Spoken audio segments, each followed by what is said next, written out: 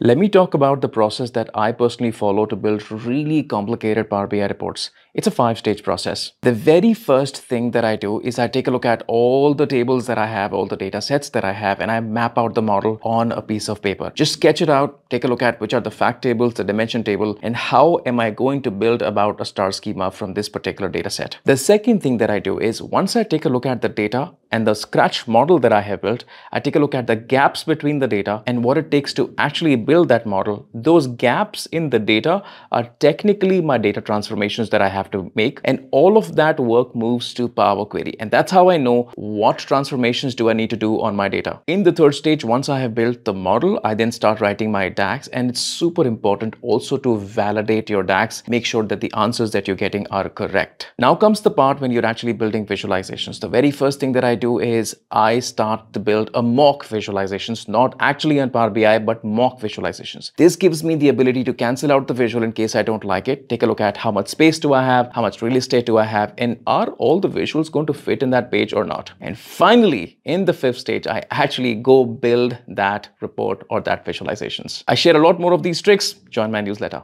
Cheers.